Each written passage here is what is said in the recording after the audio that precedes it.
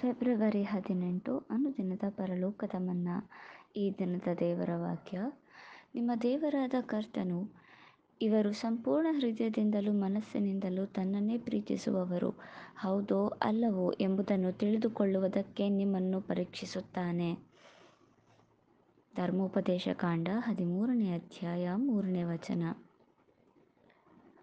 ದೇವರ ರಾಜ್ಯ ಎಂಥವರಿಗೆ ಮೀಸಲಾಗಿದೆ ಎಂದರೆ ಯಾರು ದೇವರ ಕೃಪೆಯಿಂದ ಹೃದಯಪೂರ್ವಕವಾಗಿ ಕ್ರಿಸ್ತನಂತಾಗುವರೋ ಅಂಥವರು ದೇವರನ್ನು ಪೂರ್ಣ ಹೃದಯದಿಂದಲೂ ಪೂರ್ಣ ಪ್ರಾಣದಿಂದಲೂ ಪ್ರೀತಿಸುತ್ತಾ, ನನ್ನ ಚಿತ್ತವಲ್ಲ ಸ್ವಾಮಿ, ನಿನ್ನ ಚಿತ್ತವೇ ನನ್ನಲ್ಲಿ ನೆರವೇರಲಿ ಎಂಬುದಾಗಿ ಹೇಳಿ ನೆರವೇರಿಸುವವರು ಈ ಷರತ್ತಿಗೆ ಬದ್ಧರಾಗಿ ತಮ್ಮನ್ನು ತಾವೇ ದೇವರಿಗೆ ಸಮರ್ಪಿಸಿಕೊಳ್ಳುವುದು.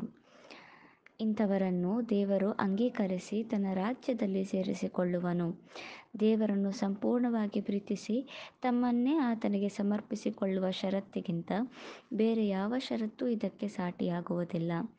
ದೇವರು ತನ್ನನ್ನು ಉತ್ಕಷ್ಟವಾಗಿ ಪ್ರೀತಿಸುವವರ ಪರವಾಗಿ ಕಣ್ಣು ಕಾಣದೇ ಇರುವ, ಕಿವಿಯು ಕೇಳದೇ ಇರುವ ಹಾಗೂ ಅದರ ಭಾವನೆ ವ್ಯಕ್ತವಾಗದೇ ಇರುವ ಮತ್ತು ಮನುಷ್ಯನ ಹೃದಯದಲ್ಲಿ ಹೊಳೆಯದೇ ಇರುವಂಥ ಪರಲೋಕದ ಅತಿ ಶ್ರೇಷ್ಠವಾದ ಆಶೀರ್ವಾದಗಳನ್ನು ಮೀಸಲಾಗಿಟ್ಟಿದ್ದಾನೆ.